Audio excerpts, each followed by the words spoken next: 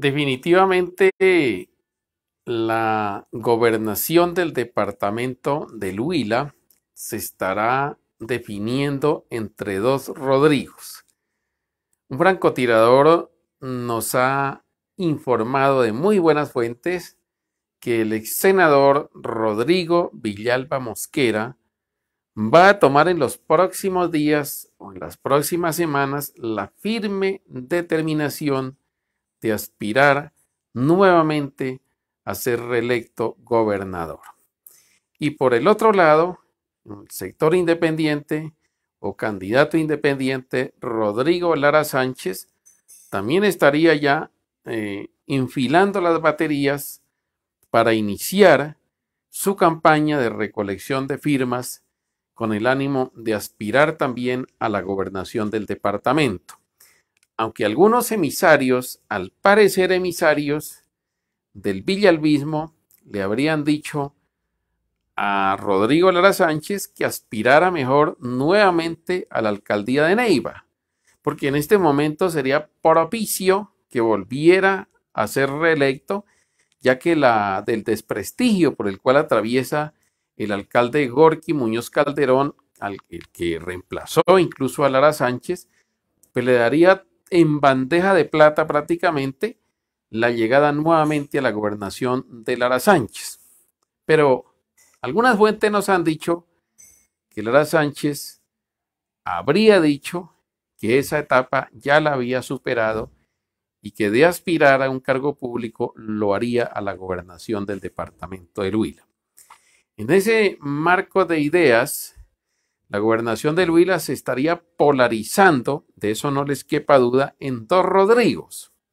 Rodrigo Villalba Mosquera, el ex senador, y Rodrigo Lara Sánchez, el exalcalde de Neiva. ¿Cómo se organizarían esas dos eh, precandidaturas?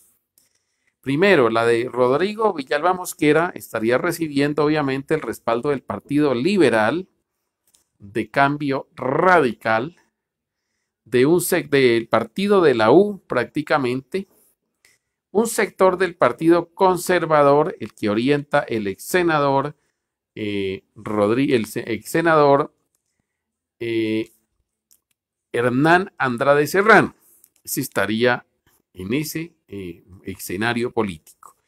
El exgobernador Carlos Julio González Villa, por supuesto, estaría también apoyando la candidatura de Rodrigo Villalba Mosquera. Es decir, le harían una gavilla allí, también el Partido Verde, a través de el diputado mm, Armando Acuña, pero el Partido Verde podría dividirse en dos sectores porque mm, está muy cercano nuevamente Rodrigo Lara Sánchez para que el Partido Verde a nivel nacional le vuelva a dar el aval que tuvo cuando fue alcalde de Neiva.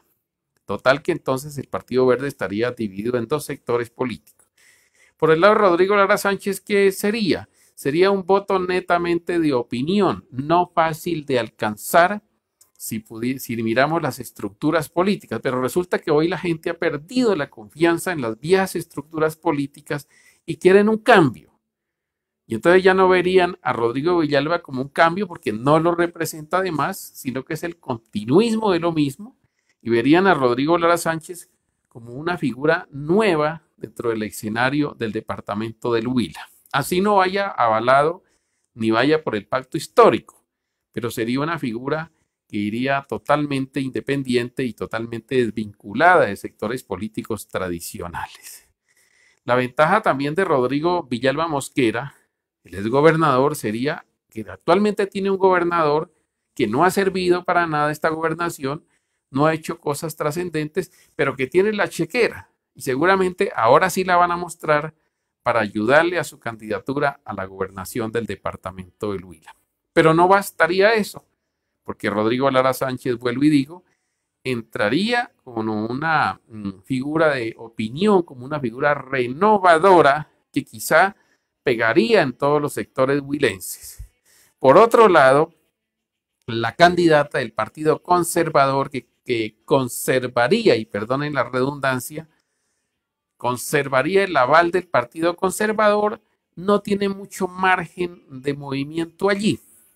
Si se mantiene la señora Sandra Hernández hasta el final, su votación no sería tan alta y no sería, eh, eh, digamos, no definiría esa polarización entre estos dos Rodrigos, que serían los verdaderos eh, protagonistas de esta batalla política. Por otro lado, en el pacto histórico no van a tener ningún candidato. La gran mayoría del pacto histórico estaría apoyando a Rodrigo mm, Villalba Mosquera seguramente por aquello de que él estuvo tres días antes de las elecciones apoyando a Gustavo Petro y porque allí hay unos intereses ya creados. Por ejemplo, en Colombia Humana está el señor Armando Cuellar, que está, ha sido muy comprometido con eh, Rodrigo Villalba Mosquera, también está eh, Abel Sepúlveda y otros sectores de la vieja clase tradicional que hoy hacen parte del llamado pacto histórico, pero que en realidad ellos han sido más cercanos a los políticos tradicionales y para allá van a enmarcar esa situación.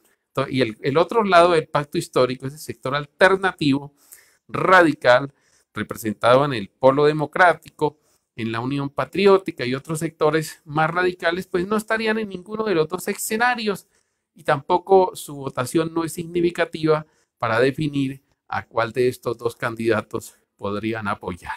Pero en las próximas elecciones, es decir, el próximo mes de octubre, no se les olvide que será dos Rodrigos, Villalba Mosquera y Lara Sánchez, los que irán a polarizar las elecciones en el departamento de Huila. Para el francotirador les habló Santiago Villarreal. Hasta la próxima.